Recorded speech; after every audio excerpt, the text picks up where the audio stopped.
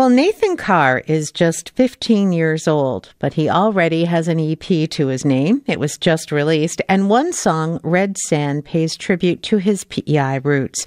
He lives in Ajax, Ontario, but his father is from the island and has lots of relatives here.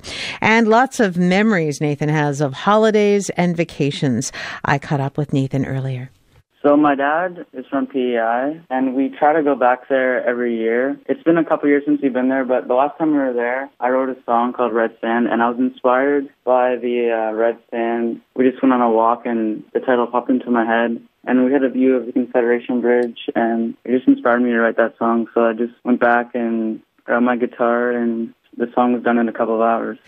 Tell us about your musical career because you're 15 years old and you've done a lot already. Yeah, so when I was younger, like two years old, I used to stand in front of the TV with my little guitar and just play along to like Keith Urban videos. And then when I got a little bit older, my dad taught me some chords and I just started learning off YouTube and continue to practice every day. I have a three song EP. Dave Langus played the drums on it. Andy Narsing produced as well as, as played bass it's really special to me for because my first EP, and it's very important to share it with the world, and I'm super excited about it. Pretty much, music is my passion, and I've been doing it for such a long time, so it's really all I want to do. Um, my dream, I guess, is just for people to hear my music and get to perform in front of large audiences and just share the emotions that I've dealt with with other people.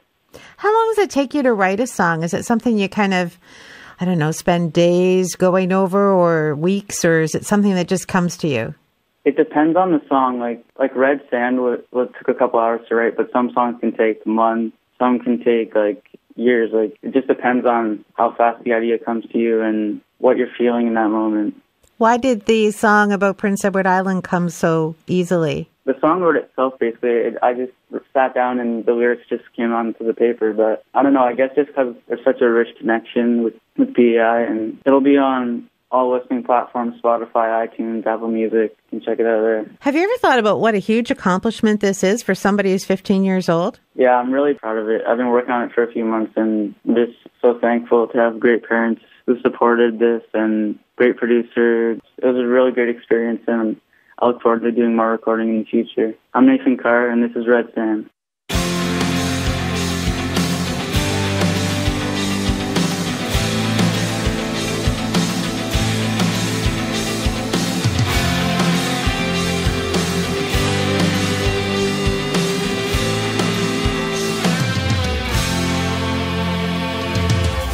Walking down on the beach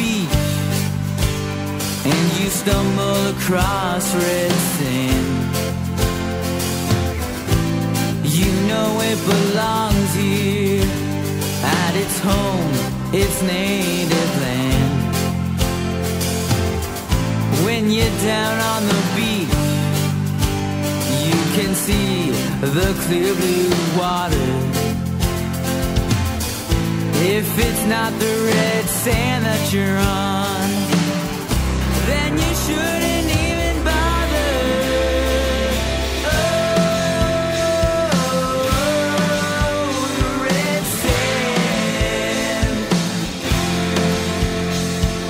stuck on your toes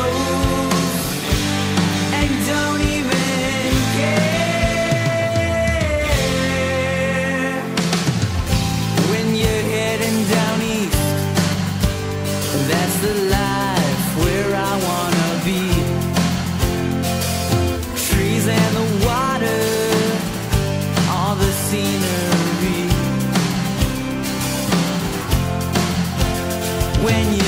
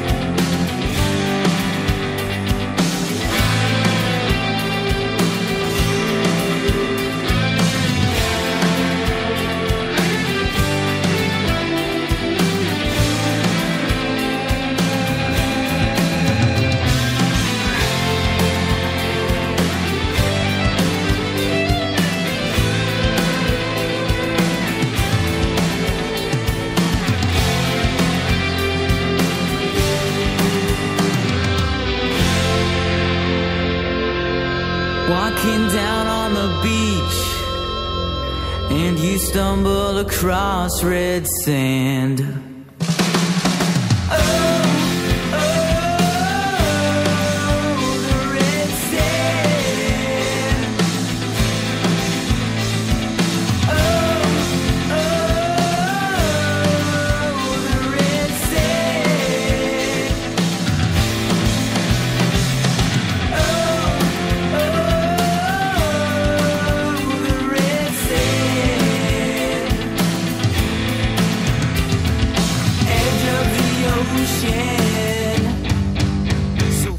Ahead.